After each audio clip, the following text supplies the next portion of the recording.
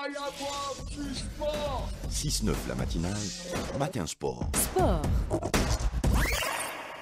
Mohamed Deboul, bonjour. Bonjour. On va d'abord sur les tatamis à Tokyo, le slam de Tokyo, grand rendez-vous euh, mondial. Et on va parler de, des euh, Algériens qui sont engagés dans la compétition. Alors, la compétition s'est déroulée cette nuit. C'est Ali Hamouche qui est resté très tard, c'est un pour le décalage Pour horaire, pour nous, oui, pour nous donner les résultats. Il y a eu l'entrée en liste de Yassat Mustafa Bouamar dans la catégorie des moins de 100 kg et Amina Belkadi chez les moins de 63 kg. Elles, sont, elles- elles étaient sur le tatami aujourd'hui, c'était la deuxième et dernière journée. Alors au premier tour, au, sur les moins de 100 kg, Bouamar Mustafa a été éliminé par l'espagnol Nicolas. C'est un athlète d'origine géorgienne qui, avait été, qui est naturalisé espagnol. Et d'ailleurs, il avait déjà battu Bouamar Mustafa Yasser en finale de leur catégorie lors des Jeux méditerranéens d'Oran. Chez les moins de 63 kilos, Amina Belkadi, exempt du premier tour, s'est inclinée au deuxième tour face à la Mexicaine Alcaraz Prisca. La Mexicaine qui avait déjà battu Amina Belkadi lors du Grand Slam de Zagreb. Seule satisfaction de ce Grand Slam de Tokyo, c'est Driss Redouane dans la catégorie des moins de 73 kilos qui a passé deux tours. Au premier tour de la poule A, Driss Moussaoud a battu le japonais, ce n'est pas rien, Yusuku. Puis au deuxième tour, il s'est imposé devant le Mexicain Cardoso Gilberto. Malheureusement, l'aventure de Driss Moussaoud s'est arrêtée en huitième de finale face au Coréen Lee Hong-kul sur la performance, euh, donc excellente performance de Driss Moussaoud. Autre information concernant Driss Moussaoud, qui a toutes les chances de participer aux Jeux Olympiques, qui est bien parti pour participer aux Jeux Olympiques, eh bien, et ça c'est une exclusivité radio. Le chaîne 3, donc du service des sports, c'est grâce à Ali Hamouche qui nous la donne, c'est Driss Moussaoud Redouane qui participera à la Ligue des champions européenne de judo avec le Paris Saint-Germain qu'il avait rejoint en juin dernier et ça sera du 9, donc la semaine prochaine, au 10 décembre prochain en Serbie. On va passer à présent au football, la Ligue 1, huitième euh, journée. La JSK qui, on peut le dire, évite un peu la crise. La JS Kabylie qui gagne à l'extérieur, vous avez raison, pas un peu, pas un peu, beaucoup. La Pas un crise. peu.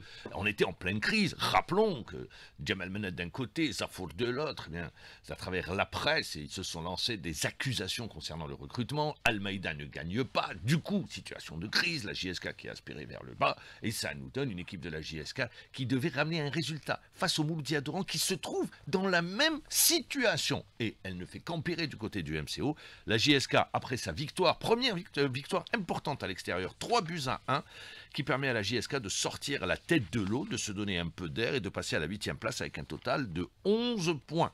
Dans le même temps, au cours de cette journée, l'AS Schleff a battu l'Union sportive de Souffle et se propulse vers la partie haute du tableau à la quatrième place. 2 buts à 0. Pas de but entre la JS Saoura et l'entente de Sétif. On va écouter l'entraîneur de la JS Kabylie, Ruiz, euh, Rui Almeida. Il est au micro de Lotfi Benidir. Les victoires sont toujours spéciales, importantes toujours, parce que c'est une équipe très difficile de jouer ici. Donc tous les mérites pour mon joueur. Et féliciter mon joueur pour la victoire. Comme nous avons perdu 3 points euh, à 20, seulement aujourd'hui c'est 3 points et avancer. Continuer, reposer un peu et attaquer le match de vendredi pour gagner. Et consolider ça, parce qu'il faut, consolider cette victoire d'aujourd'hui. Quand Al-Rui Almeida au micro de Benidir dit consolider, ça veut dire en d'autres termes enclencher une série. Je rappelle les autres résultats. Le Moudia d'Alger, leader, après sa victoire contre Mao, ou plutôt consolide sa première place après sa victoire contre Magara, 4 buts à 0. Le CSC Bahanchla, 2 buts à 0.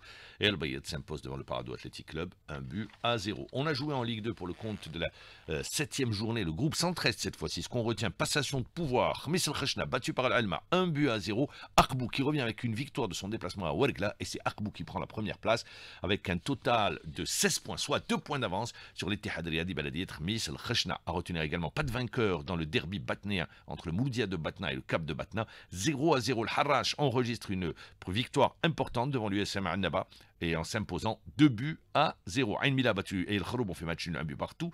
La JS Borj Benaïl a battu Magran 2 buts à 0. Le MOC s'est imposé devant Sol Roselaine 2 buts à 1. Clermont a battu Shalom Laïd 2 buts à 1. Et voilà pour l'essentiel des résultats. Akbou est leader avec 16 points. Deuxième Khamis El en compagnie du Mouloudia de Batna avec 14 points. Les féminines en handball, on en parle. Rappelons que tout récemment, le handball club d'El a remporté la Coupe d'Afrique. C'était en Tunisie contre le club africain. Première journée hier avec beaucoup de retard.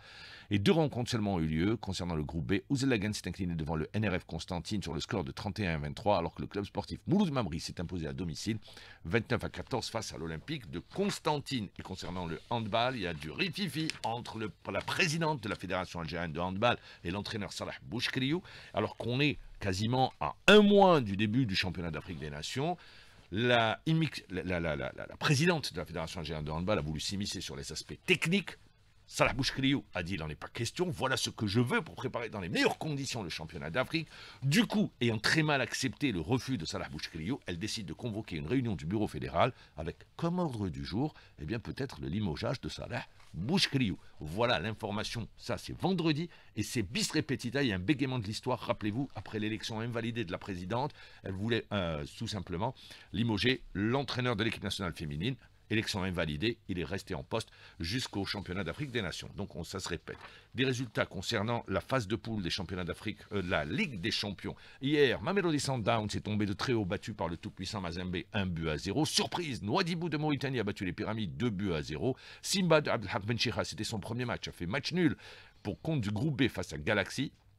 Et on retiendra également que Young Africans, ça concerne le Shabab Riyadi de Belouizdad et le Ahli du Caire, ont fait match nul, un but partout. Le Ahli prenant la première place du groupe. Aujourd'hui, l'USMA d'Alger jouera face euh, à Supersport United, une équipe de l'USMA d'Alger qui devra consolider son résultat euh, du match aller où elle s'était imposée contre les Hillel, 2 buts à 0. La rencontre, vous l'aurez en direct sur les ondes d'Alger Chaîne 3 à partir de 14h. Et si vous le voulez également, des résultats des championnats étrangers. Arsenal qui consolide sa première place grâce à sa victoire hier sur le score de 2 buts à 1 devant Wolverhampton. À retenir que Manchester United a été battu 1 but à 0 par Newcastle. Girona a battu Valence. La bonne surprise du championnat d'Espagne, 2 buts à 1. Le Real a battu Granada, 2 buts à 0. Les deux se partagent la première place, mais la différence de but est favorable au Real. On a joué également en Série A. Le Milan AC se remet de sa défaite en Champions League européenne en battant Frosinone 3 buts à 1.